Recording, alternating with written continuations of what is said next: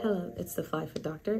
I am Dr. Shubawale, a foot and ankle surgeon that resides in Houston, Texas and practices there as well. If this is your first time, welcome. I talk about a lot of foot care stuff and things that you may benefit from. Today, I want to focus on hammer toes and toe corns. If this is something that you think you'd be interested in listening to, stick around with me and let's break this down.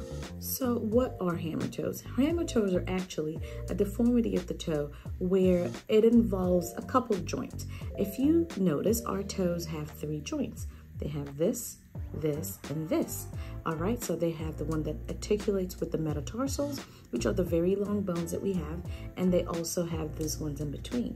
For a better visual, I have this bone model, which shows this attachment right here, that's one, this other attachment right here, that's two, and this other one, that's three. So for a better visual, we have this joint, this is the metatarsal right here, and this is the first joint of the toe. This is the second joint of the toe, and this is the third joint of the toe. So you have one, two, three joints. Now what happens in a hammer toe is, instead of having a nice, flat, straight joint like this, or like this, what happens is this goes up right here, and we call that dorsiflexion of this joint and then this second one bends down.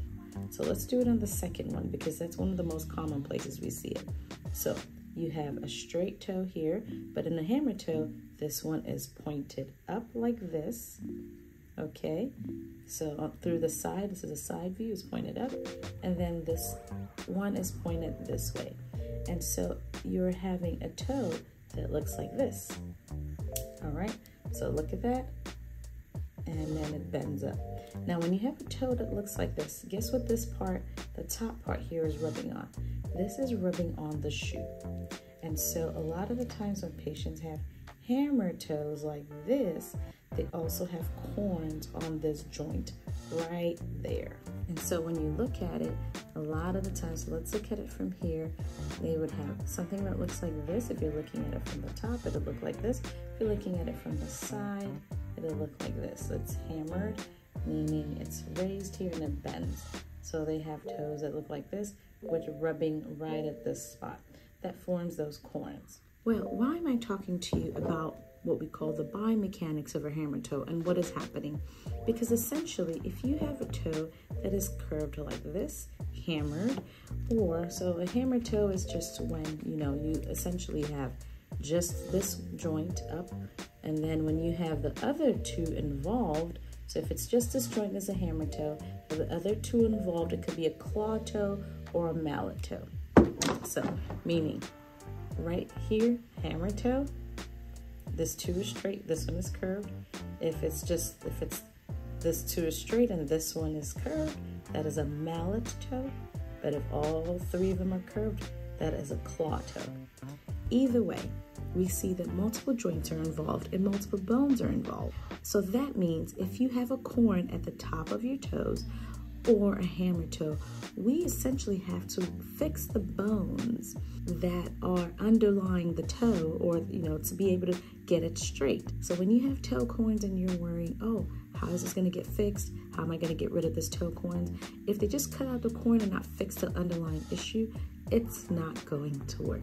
We have to fix the bone and the joints and realign them to be able to get rid of that corn and prevent it from coming back. Now, what causes these things? There are a bunch of things that causes hammer toes or corn formation. Some of it could be, you know, if you have flat foot and your toes are trying to grab the ground when you walk. If you have high arch foot, that can happen as well. Sometimes it is from wearing chronic high heels, but it's not really the heel height It's only, it's also the narrowing of the front of the shoe. When you crowd your toes in that shoe, then your toes get to squeeze and they don't really have a lot of room. And so they start to squeeze together and go up. And if you wear that constantly, it worsens the situation and worsens the issue. How can you get rid of hammer toes? Well, essentially, if you want to straighten out your toes, you will need surgery. If you want to remove the corns, you will need surgery. I understand that there are lots of over-the-counter medications and pads and acids or what have you, and they only serve to lighten the color of the corn or soften the corn. But if you still have that bend in your toe, like we talked about, it's still going to remain there. And so we need to fix that underlying issue first before we can completely eradicate the corn. Now, do you have to fix your hammer toes? The answer is no. If they do not hurt, if they do not affect your activities of daily living, your walking, your standing, they're not causing pain, you don't have to. If you don't care how they look, you don't have to. Now, if you do care about how they look, if they hurt and they're affecting the shoes you wear, how you walk, how long you walk, exercises, then you should get it fixed and get it taken care of. If you are interested in having me do a consultation with you so we can see if this is going to be a good fit and a good procedure choice for you, definitely give us a call. My phone number as well as the website is down in the link below. Just click on it and book a virtual consultation if you're out of Texas and we'll be able to take care of you. I hope that this video had given you some insight about what hammer toes are and how they cause and affect corns and how you could possibly take care of it. If you have any questions, let me know. Leave a comment down below. You can follow me on my other platforms. It's the Fly Foot Doctor as well. And I'll see you next time. Take care. Bye.